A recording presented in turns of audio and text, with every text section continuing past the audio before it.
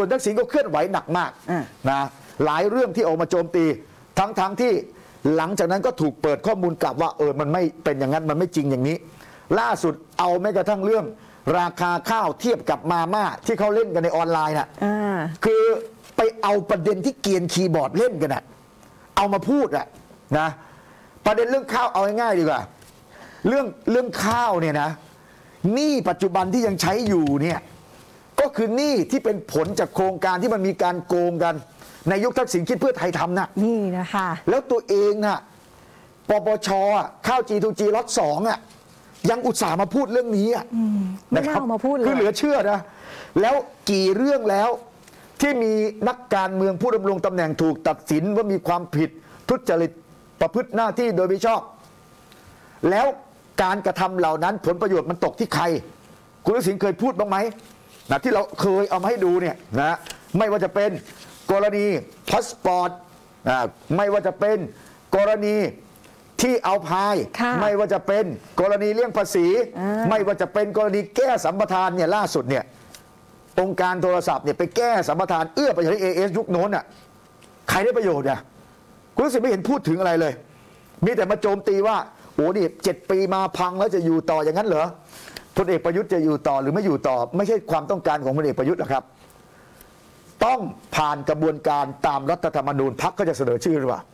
อะพักเสนอชื่อประชาชนเลือกหรือเปล่านะแต่วันนี้รีบโจมตีหนักมากนะในออนไลน์เนี่ยเขาก็เลยมีภาพภาพนี้มาตอนนี้ค่ะด้านบนเป็นภาพพลเอกประยุทธ์ เดินหน้าประเทศนะฮะส่วนตรงกลางไม่ใช่ภาพนี้ครับ ตรงกลางเนี่ย ตัวถ่วงประเทศนะด้านล่างหาทางกลับประเทศนะบอกชัดเลย เออเอาเปรียบเทียบกันให้เห็นเห็นเลยว่า ใครกำลังทำอะไร นี่ค่ะนี่ภาพนี้ เดินหน้าประเทศ ตัวถ่วงประเทศคือใคร หาทางแล้วกลับหาประเทศทางกลับประเทศ อยู่ด้านล่างนะฮะแล้วก็ในโลกออนไลน์ก็มีอีกภาพหนึ่งนะฮะกจพกจกมจขอจ กูจะพูดจนกว่ามึงจะเข้าใจ เนี่ยอันนี้เป็นสำนักข่าวออนไลน์ ออกสื่อจริงออกสื่อทิพย์นะฮะออกอากาศแล้วคือใครคือลิซ่าออกไม่หยุดเลยล่าสุดพูดพะแนงไก่อีกนะแต่ที่ยังไม่ออกอากาศคือใครธนาธรที่เคยไปต่างประเทศตอนโน้ต NBC ยังไม่เอาออกทีวีเลย ผ่านมา2ปียังไม่ออกเลย นี่ทำไมถึงเป็นแบบนั้นเป็นการสร้างภาพหรือเปล่า ค่ะ แล้วเมื่อวานนี้ที่ธนาธรไปรับทราบข้อกล่าวหาอ่า ที่ทางพนักงานสอบสวน ส่งฟ้องอายการสำนวนหนึ่งอีกสำนวนหนึ่งรับทราบข้อกล่าวหา 112 ทางอายการเนี่ยนัด 4 พฤศจิกายน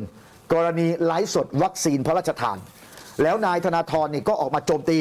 นะออกมากล่าวหาว่าโอ้โหนี่ถูกยัดคดีอย่างนั้นอย่างนี้ ไม่ได้รับความเป็นธรรมอย่างนั้นอย่างนี้นะครับแลมโบอีสานเสกสกุล อัฏฐาวงผู้ช่วยรัฐมนตรีประจำนายก ได้ออกมาวิพากษ์วิจารณ์กลับว่า รัฐบาลไม่เคยมีการจะใช้ 112 กันแกล้งใคร มีแต่คนที่มีพฤติกรรมที่มีมูลเท่านั้นแหละ ที่จะถูกดำเนินคดี คนที่คิดไม่ดีต่อสถาบันแล้วเจตนาทำผิดกฎหมายนะครับ ที่ไปกล่าวหาว่ารัฐบาลใช้กฎหมายปิดปากประชาชนไม่เป็นความจริงค่ะแต่ละคดีมันมีที่มามันมีที่ไปทั้งนั้น ใครมีพฤติกรรมที่ก้าวล่วงบิดเบือนข้อมูล ให้ร้ายสถาบันเบื้องสูงอยู่ตลอด คนกลุ่มนี้จะต้องถูกจัดการด้วยกฎหมายนะครับ แล้วคนกลุ่มนี้คือคนที่ควรจะถูกเรียกว่า เนรคุณแผ่นดิน ไร้จิตสำนึก นี่แรมโบ้อีสานเสกสกลอัตถาวงศ์อัดกลับเลยเพราะมากล่าวหาว่ารัฐบาลเนี่ยเอากฎหมายปิดปากนะฮะแล้วก็พูดถึงทางภาครัฐเมื่อวานนี้มีการประชุมครม เมื่อวานนี้นายกรัฐมนตรีเนี่ยก็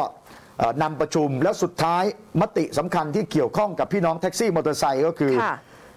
เยียวยาแท็กซี่วินมอเตอร์ไซค์16,694 คนนะนี่ฮะจัดเงิน 167 ล้านใช่นะคค่ะรับเยียวยาคนละ 5,000 บาทต่อเดือนนะคะ โดยอายุต้องไม่เกินอายุเกิน 65 ปี แล้วก็ต้องอยู่นอกระบบนะคะมาตรา 33 มาตรา 39 และก็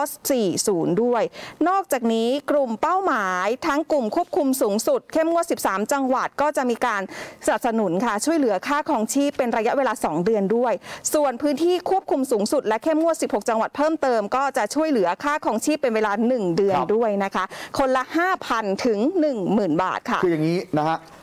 ผู้ประกันตนที่อายุคนที่ ขับมอเตอร์ไซค์รับจ้าง แล้วก็วินมอเตอร์ไซค์ที่อายุ 65 ปีขึ้นไป ค่ะ ไม่ได้อยู่ในกลุ่มประกันตนและก็ประกันสังคมไม่ว่าจะเป็นมาตรา 33 39 40 ก่อนหน้านี้เขาเยียวยากันไปแล้วนะคนที่เข้าเกณฑ์แล้วก็อยู่ในประกันสังคมนะแต่คนที่อายุเกิน 65 ที่ขับมอเตอร์ไซค์แล้วก็ขับแท็กซี่เนี่ยไม่เข้าเกณฑ์ ค่ะ ก็เลยต้องมีการเยียวยาเพิ่มเติม เมื่อวานนี้คุณธนกรวังบุญคงชนะนี่ได้แจกแจงนะใครที่อยู่ในพื้นที่อ่า เป็นพื้นที่เข้มงวด เข้มควบคุมสูงสุดนะก็คือ 13 จังหวัดนะกทม แล้วก็จังหวัดที่เหลือเนี่ยอันนี้จะได้ 2 เดือน เพราะอะไรเพราะมาตรการควบคุมเขาออกมาเนี่ยสองเดือน ก็เลยต้องได้รับการเยียวยา 2 เดือนนะสองเดือนก็คือ 10,000 บาทนั่นคือที่มาของตัวเลขค่ะส่วนคนที่อยู่ในจังหวัดพื้นที่ควบคุมสูงสุดและเข้มงวด 16 จังหวัดเพิ่มเติม ก็จะได้รับความช่วยเหลือ 1 เดือนก็คือ 5,000 บาทอืม นี่คือความต่างว่าทำไมถึงได้ไม่เท่ากัน ตามแต่ว่ามาตรการเข้าไปควบคุมในพื้นที่นั้นๆแล้วกระทบกับรายได้ต่างกัน จึงช่วยเหลือต่างกันนะครับ รวม 2 พื้นที่เนี่ยจำนวน 16,694 คนค่ะเงินเนี่ยจะไปถึงมือเนี่ยประมาณวันที่ 8 ถึง 12 พฤศจิการอบแรกรอบ 2 ก็ 22 ถึง 26 พฤศจิกายนนะฮะส่วนเงินช่วยเหลือ ลดภาระค่าใช้จ่ายด้านการศึกษาของอุดมศึกษานะฮะบรรดาน้องๆนิสิตนักศึกษาในสถาบันอุดมศึกษา คุณรัชดาธนาดิเรกเมื่อวานนี้เปิดเผยว่าจ่ายเงินโอนไปแล้วเนี่ย 91.46%อ่าช่วยนักศึกษาแล้วก็นักนิสิตนักศึกษาแล้วกว่า1ล้าน5แสนรายนะครับ อันนี้ช่วยในระดับอุดมศึกษาค่ะอ่าส่วนช่วยในระดับเด็กนักเรียนหัวละ 2,000เนี่ยอันนี้ก็ จ่ายไปเกือบหมดแล้ว แล้วก็เพิ่มเติมมาอีกก็คือสำหรับเด็กที่สถานเลี้ยงดูเด็กอ่อน สถานเลี้ยงดูเด็กเล็ก ที่ในการดูแลของอปท ซึ่งกำลังจะให้ขึ้นทะเบียนกันนะครับแล้วก็เมื่อวานนี้คอรมอก็อนุมัติอีกเรื่องหนึ่งก็คือมอเตอร์เวย์บางใหญ่กาญจนะกาญจนบุรีเนี่ยอนุมัติเพิ่มค่าก่อสร้างนะฮะ120ล้านบาทนะครับ อันนี้โครงการใหญ่ มอเตอร์เวย์บางใหญ่กาญจนบุรี ตอนนี้สร้างคืบหน้าไปไกลแล้วนะฮะเป็นโครงการที่เกิดขึ้นในยุคพลเอกประยุทธ์เป็นนายกตั้งแต่ยุคที่แล้วนะแล้วก็ต่อเนื่องสร้างต่อเนื่องมา จริงๆเนี่ยมี 3 โครงการ มีมอเตอร์เวย์บางใหญ่กาญจนบุรีเนี่ยแล้วก็มอเตอร์เวย์บางปะอินโคราชค่ะแล้วก็อีกอันหนึ่งก็คือไปที่พัทยานะ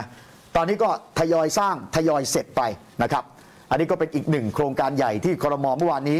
อนุมัติเงินเพิ่ม งบก่อสร้างเพิ่ม 120 ล้าน